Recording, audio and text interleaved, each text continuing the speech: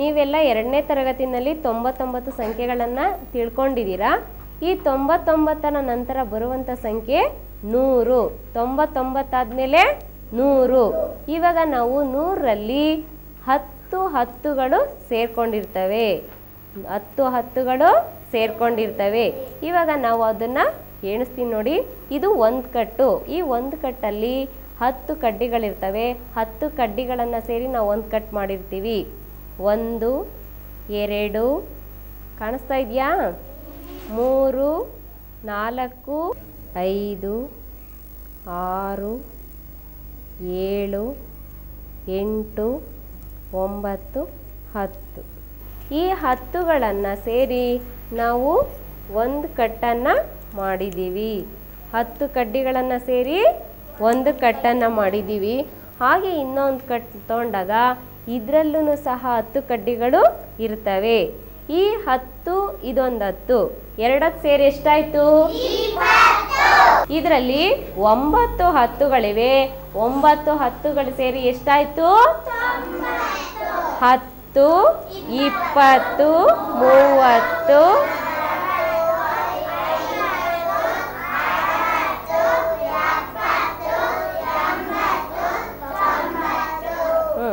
ಸೋನು ಪಾಪ ಇಲ್ಲಿ ನಾನು ನಿನಗೊಂದು ಕಟ್ ಕೊಡ್ತಾ ಇದ್ದೀನಿ.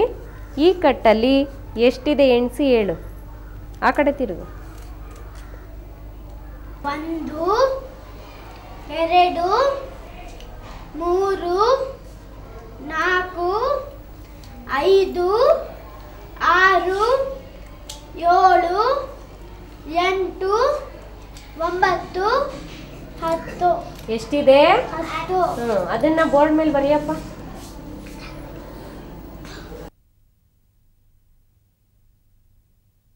ನೋಡಿ ಇಲ್ಲಿ ಒಂದು. ತೊಂಬತ್ತಕ್ಕೆ ಇನ್ನ ಒಂದು ಬಿಡಿಯನ್ನ ಸೇರಿಸ್ತೀವಿ. ತೊಂಬತ್ತ ಒಂದಾಯ್ತು. ತೊಂಬತ್ತ ಒಂದಕ್ಕೆ ಇನ್ನ ಒಂದು ಬಿಡಿಯನ್ನ ಸೇರಿಸಿದಾಗ ತೊಂಬತ್ತ ಎರಡು. ತೊಂಬತ್ತೆರಡಕ್ಕೆ ಇನ್ನ ಒಂದು ಬಿಡಿಯನ್ನ ಸೇರಿಸಿದಾಗ ತೊಂಬತ್ತ ಮೂರು ತೊಂಬತ್ತ ಮೂರಕ್ಕೆ ಇನ್ನ ಒಂದು ಬಿಡಿಯನ್ನ ಸೇರಿಸ್ತೀನಿ. ತೊಂಬತ್ತ ನಾಲ್ಕು ತೊಂಬತ್ನಾಲ್ಕಕ್ಕೆ ಮತ್ತೆ ಒಂದು ಸೇರಿಸಿದಾಗ ತೊಂಬತ್ತೈದು. ತೊಂಬತ್ತೈದಕ್ಕೆ ಮತ್ತೆ ಇನ್ನ ಒಂದು ಸೇರಿಸ್ತೀನಿ. ತೊಂಬತ್ತಾರು. ತೊಂಬತ್ತಾರಕ್ಕೆ ಮತ್ತೆ ಒಂದು ಸೇರಿಸಿದಾಗ ತೊಂಬತ್ತ ಏಳು ತೊಂಬತ್ತೇಳಕ್ಕೆ ಮತ್ತೆ ಒಂದು ಸೇರಿಸ್ತೀನಿ. ತೊಂಬತ್ತೆಂಟು. ತೊಂಬತ್ತೆಂಟಕ್ಕೆ ಮತ್ತೆ ಇನ್ನ ಒಂದು ಸೇರಿಸ್ತೀನಿ. ಇಲ್ಲಿ ಒಂಬತ್ತು ಹತ್ತು ಕಟ್ಟುಗಳಿದಾವೆ, ಮತ್ತೆ ಒಂಬತ್ತು ಬಿಡಿಗಳಿದಾವೆ. ಅಲ್ವಾ? ಇದು ಮ ತೊಂಬತ್ತ ಒಂಬತ್ತು. ಇಲ್ಲಿ ಎಷ್ಟು? ತೊಂಬತ್ತ ಒಂಬತ್ತಿದೆ. ಇಲ್ಲಿ ತೊಂಬತ್ತು ಒಂಬತ್ತು ಹತ್ತುಗಳಿದೆ ಒಂಬತ್ತು ಬಿಡಿಗಳಿದೆ. ಈ ಒಂಬತ್ತು ಬಿಡಿಗಳಿಗೆ ನಾನು ಮತ್ತೆ ಇನ್ನೂ ಒಂದನ್ನು ಸೇರಿಸ್ತೀನಿ. ಮತ್ತೆ ಒಂದು ಸೇರಿಸಿದಾಗ ನಾನು ಇಲ್ಲಿ ಒಂದು ಹಾಕ್ಕೋತೀನಿ. ಹಾಕ್ಕೊಂಡಾಗ ಒಂಬತ್ತಕ್ಕೆ ನಾವು ಒಂದನ್ನು ಕೂಡಬೇಕು. ಏನು ಮಾಡಬೇಕು? ಕೂಡಬೇಕು ಇವಾಗ ಕೂಡೋಣ. ಒಂದಕ್ಕೆ ಒಂಬತ್ತು ಸೇರಿಸಿದಾಗ ಅಥವಾ ಒಂಬತ್ತಕ್ಕೆ ಒಂದು ಸೇರಿಸಿದಾಗ ಎಷ್ಟಾಯಿತು? ಹತ್ತು. ಹತ್ತನ್ನ ನಾವಿಲ್ಲಿ ಬರೆಯೋಕ್ಕೆ ಆಗೋದಿಲ್ಲ. ಪಕ್ಕದಲ್ಲಿ ಇಲ್ಲಿ ಬರ್ಕೊಳ್ಳೋಣ. ಹತ್ತು. ಇಲ್ಲಿ ಬಿಡಿ ಸ್ಥಾನದಲ್ಲಿದ್ದ, ಇರುವಂಥ ಸಂಖ್ಯೆಯನ್ನು ನಾವಿಲ್ಲಿ ತಗೋಬೇಕು. ಬಿಡಿ ಸ್ಥಾನದಲ್ಲಿರುವಂಥ ಸಂಖ್ಯೆ ಸೊನ್ನೆ. ಈ ಸೊನ್ನೆಯನ್ನು ನಾವು ಬಿಡಿ ಸ್ಥಾನದಲ್ಲಿ ಬರ್ಕೊಬೇಕು. ಈ ಒಂದು ದಶಕ ಅಂತ ಹೇಳ್ತೀವಿ. ನೀವಾಗಲೇ ಎರಡನೇ ಕ್ಲಾಸಲ್ಲಿ ತಿಳ್ಕೊಂಡಿದ್ದೀರಾ? ಈ ಒಂದನ್ನು ನಾವು ಒಂಬತ್ತಕ್ಕೆ ಸೇರಿಸ್ಕೊಬೇಕು. ಇಲ್ಲಿ ದಶಕ ಇಟ್ಕೊಂಡಿರೋಣ. ಈ ಒಂಬತ್ತಕ್ಕೆ ಒಂದನ್ನು ಕೂಡಿದಾಗ ಹತ್ತು ಹತ್ತಾಗುತ್ತೆ ಹತ್ತು ಈ ಹತ್ತು ಇದನ್ನು ಸೇರಿಸ್ ತೊಂಬತ್ತಕ್ಕೆ ಒಂದನ್ನು ಸೇರಿಸಿದಾಗ ಎಷ್ಟಾಯಿತು? ನೂರು. ನೂರು. ಇಲ್ಲಿ ನೂರು ಬಂದಾಗ ಸಂಖ್ಯೆ ಹೆಚ್ಚಾಯಿತು. ಒಂದು ಸಂಖ್ಯೆ ಹೆಚ್ಚಾದಾಗ ಅದರ ಸ್ಥಾನ ಬೆಲೆನೂ ಸಹ ಹೆಚ್ಚಾಯಿತು. ಇಲ್ಲಿ ತೊಂಬತ್ತೊಂಬತ್ತರಲ್ಲಿ ಎರಡು ಸ್ಥಾನಗಳಿದೆ. ನೂರರಲ್ಲಿ. ಒಂದು, ಎರಡು, ಮೂರು. ಅಲ್ವಾ? ಇದಕ್ಕೆ ಮಣಿಕಟ್ಟು ಅಂತ ಹೇಳ್ತೀವಿ. ಈ ಮಣಿಕಟ್ಟಿನಲ್ಲಿ ಮೂರು ಕಂಬಿಗಳಿದ್ದಾವೆ ಇದನ್ನು ನಾವು ಸ್ಥಾನ ಬೆಲೆಗೆ ಹೋಲಿಸಿದಾಗ ಬಿಡಿ ಹತ್ತು ನೂರು ಅಂತ ಹೇಳ್ತೀವಿ. ಈ ನಾವು ಯಾವಾಗಲೂ ಸ್ಥಾನ ಬೆಲೆನಲ್ಲಿ ಬರಿಬೇಕಾದ್ರೆ ಬಿಡಿ ಸ್ಥಾನದಲ್ಲಿ ಫಸ್ಟು ಮೊದಲು ತಗೋಬೇಕು. ಈ ಬಿಡಿ ಸ್ಥಾನಕ್ಕೆ ನಾವು ಒಂದು ಮಣಿಯನ್ನು ಹಾಕ್ತೀವಿ. ಒಂದು ಮಣಿ ಹಾಕ್ಬಿಟ್ಟು ಓದೋದನ್ನು ಹೇಗೆ ಅಂತ ಹೇಳ್ತೀನಿ ತೋ ನೋಡ್ಕೊಳ್ಳಿ. ಈ ಒಂದು ಮಣಿ ಹಾಕಿದಾಗ ನಾವಿಲ್ಲಿ ಒಂದು ಅಂತ ಓದಬೇಕು. ಎರಡನೇ ಮಣಿ ಹಾಕಿದಾಗ ಎರಡು ಮೂರನೇ ಮಣಿ ಹಾಕಿದಾಗ ಮೂರು. ನಾಲ್ಕು ಹಾಕಿದಾಗ ನಾಲ್ಕು. ಐದು. ಆರು. ಏಳು. ಎಂಟು. ಒಂಬತ್ತು. ಈ ಬಿಡಿ ಸ್ಥಾನಕ್ಕೆ ನಾನು ಒಂಬತ್ತು ಮಣಿಗಳನ್ನು ಹಾಕಿದ್ದೀನಿ. ಈ ಒಂಬತ್ತು ಹಾಕಿದ್ಮೇಲೆ ಹತ್ತನೇ ಮಣಿ ಇದರಲ್ಲಿ ಇಡ್ಸೋ ಇಡ್ಸೋದಿಲ್ಲ. ಈ ಹತ್ತನೇ ಮಣಿ, ಹತ್ತು ಮಣಿ ಹಾಕ್ಬೇಕಾದ್ರೆ ಮತ್ತೆ ಅದರ ಸ್ಥಾನ ಹೆಚ್ಚಾಗುತ್ತೆ. ಹತ್ತನೇ ಮಣಿ ಹಾಕ್ಬೇಕಾದ್ರೆ ಅದರ ಸ್ಥಾನ ಮುಂದಕ್ಕೆ ಹೋದಾಗ ನಾವು ಈ ಹಾಕಿದಾಗ ಈ ಬಿಡಿಗಳನ್ನು ನಾವು ಏನು ಮಾಡಬೇಕು? ತೆಗಿಬೇಕು. ತೆಗೆದುಬಿಟ್ಟು ಇದನ್ನು ನಾವು ಹತ್ತು ಎಂದು ಓದಬೇಕು. ಎಷ್ಟು ಹೇಳಿ? ಹತ್ತು. ಇಲ್ಲಿ ಒಂದು ಹತ್ತಿದೆ. ಒಂದು ಮಣಿ ಹಾಕಿದ್ದೀನಿ. ಒಂದು ಹತ್ತಾಯ್ತು. ಎರಡು ಮಣಿ ಹಾಕಿದಾಗ ಇಪ್, ಎರಡು ಹತ್ತು ಅಥವಾ ಇಪ್ಪತ್ತು. ಮೂರು ಮೂರು ಹಾಕಿದಾಗ ಮೂರು ಹತ್ತು, ಮೂವತ್ತು. ನಾಲ್ಕು ಹತ್ತು, ನಲವತ್ತು. ಐದು ಹತ್ತು, ಐವತ್ತು. ಆರು ಹತ್ತು, ಅರವತ್ತು. ಏಳು ಹತ್ತು ಎಪ್ಪತ್ತು. ಎಂಟು ಹತ್ತು ಎಂಬತ್ತು. ಒಂಬತ್ತು ಹತ್ತು ತೊಂಬತ್ತು. ಇಲ್ಲಿ ತೊಂಬತ್ತಾಯ್ತು. ತೊಂಬತ್ತಾದ್ಮೇಲೆ ಇನ್ನೊಂದು ಹತ್ತು ಹಾಕ್ಬೇಕಾದ್ರೆ ಅದ್ರ ಸ್ಥಾನ ಹೆಚ್ಚಾಗುತ್ತೆ. ಸ್ಥಾನ ಹೆಚ್ಚಾದಾಗ ಮತ್ತೆ ಮುಂದಿನ ಸ್ಥಾನಕ್ಕೆ ಹೋದಾಗ ಈ ಹತ್ತರ ಸ್ಥಾನದಲ್ಲಿರುವಂತಹ ಮಣಿಗಳನ್ನು ತೆಗಿಬೇಕು.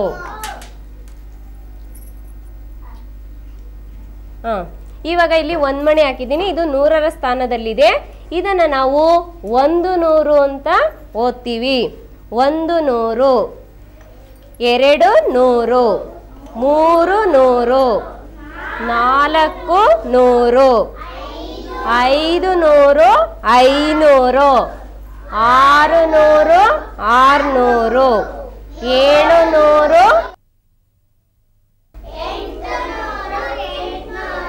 ಒಂಬತ್ತು ನೂರು ಒಂಬೈನೂರು.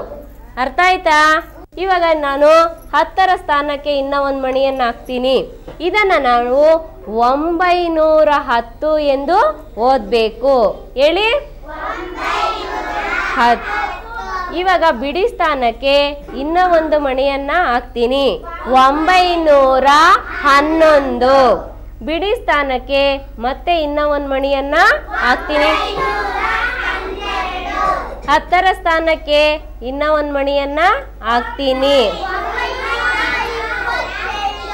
ಒಂಬೈನೂರ ಇಪ್ಪತ್ತ ಎರಡು. ಬಿಡಿ ಸ್ಥಾನಕ್ಕೆ ಮತ್ತೆ ಇನ್ನೊಂದು ಹಾಕ್ತೀನಿ. ಒಂಬೈನೂರ ಇಪ್ಪತ್ತ ಮೂರು. ಈ ಥರ ಓದಬೇಕು. ಹಾಗೆಯೇ ನಾನು ಒಬ್ರನ್ನ ಕರಿತೀನಿ ನಾನು ಒಂದು ಸಂಖ್ಯೆನ ಹೇಳಿದಾಗ ನೀವು ಅದೇ ರೀತಿ ಮಣಿಗಳಲ್ಲಿ ಮಣಿಕಟ್ಟಲ್ಲಿ ಮಣಿಗಳನ್ನು ಹಾಕಿ ಆ ಸಂಖ್ಯೆಗೆ ಸರಿಯಾದಂಥ ಮಣಿಗಳನ್ನು ಹೊಂದಿಸ್ಬೇಕು. ಹೊಂದಿಸ್ತೀರಾ ಓದಮ್ಮ ಇದು ಎಷ್ಟಿದೆ? ಮೂರು ನೂರ ನಲವತ್ತ ಐದು ಈ ಮೂರ್ನೂರ ನಲವತ್ತೈದರಲ್ಲಿ ಬಿಡಿ ಸ್ಥಾನದಲ್ಲಿ ಎಷ್ಟಿದೆ? ಐದು ಬಿಡಿಗಳು. ಹತ್ತರ ಸ್ಥಾನದಲ್ಲಿ ಎಷ್ಟು ಹತ್ತುಗಳಿದೆ?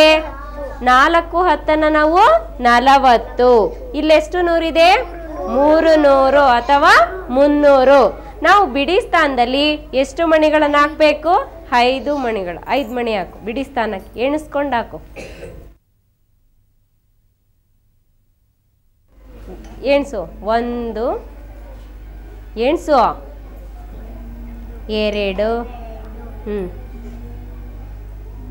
ಜೋರಾಗಿ ಹೇಳು ಮೂರು ನಾಲ್ಕು ಹ್ಞೂ ಐದು ಹ್ಞೂ ಎಷ್ಟು ಬಿಡಿ ಆಯಿತು? ಐದು. ಬಿಡಿ. ಇದನ್ನು ಓದು. ಎಷ್ಟಿದೆ ಇಲ್ಲಿ? ಐದು. ಹತ್ತರ ಸ್ಥಾನದಲ್ಲಿ ಇಲ್ಲಿ ಎಷ್ಟಿದೆ? ನಾಲ್ಕು. ನಾಲ್ಕು. ಮಣಿಗಳನ್ನು ಹಾಕು ಹತ್ತರ ಸ್ಥಾನಕ್ಕೆ. ಒಂದು. ಜೋರಾಗಿ ಇಡು ಹ್ಮ್.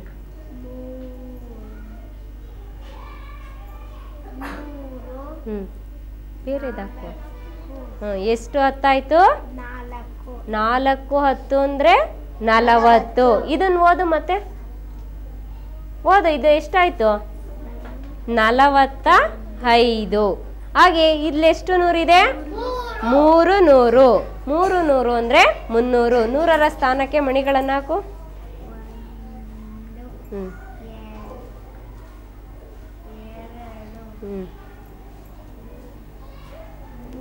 ಹ್ಞೂ ಓದು ಇವಾಗ? ಅಲ್ಲಿ ಮಣಿ ಕಟ್ಟನ್ನು ನೋಡ್ಕೊಂಡು ಓದು. ಮೂರು ನೂರ ನಲವತ್ತು ಸರಿನಾ? ಹಾಂ ಅದೇ ರೀತಿ ಹೋಗು. ರುದ್ರೇಶ ಬಾಪ ಓದಪ್ಪ ಇದನ್ನ. ನಾನೂರ ನಲವತ್ತೆಂಟು. ನಾನ್ನೂರ ನಲವತ್ತೆಂಟು ಈ ನಾನ್ನೂರ ನಲವತ್ತೆಂಟರಲ್ಲಿ ಬಿಡಿ ಸ್ಥಾನದಲ್ಲಿ ಎಷ್ಟಿದೆ ಓದು? ಎಂಟು. ಹತ್ತರ ಸ್ಥಾನದಲ್ಲಿ? ನಾಲ್ಕು ಹತ್ತು ಅಂದ್ರೆ? ಎಷ್ಟು? ನಲವತ್ತು. ನೂರರ ಸ್ಥಾನದಲ್ಲಿ ಎಷ್ಟಿದೆ? ನಾಲ್ಕು ನೂರು. ಇದನ್ನ ಕೂಡಿಸ್ಬಿಟ್ಟು ಓದು. ನಾಲ್ಕು ನೂರ ನಲವತ್ತೆಂಟು. ಹಾಗೆ ಈ ನಾಲ್ಕು ನೂರ ನಲವತ್ತೆಂಟಕ್ಕೆ ಮಣಿಕಟ್ಟಿನಲ್ಲಿ ಮಣಿಗಳನ್ನು ಹಾಕು. ಬಿಡಿ ಸ್ಥಾನಕ್ಕೆ ಎಷ್ಟು ಮಣಿಗಳನ್ನು ಹಾಕಬೇಕು? ಹಾಕು. ಎಂಟು ಮಣಿಗಳನ್ನು.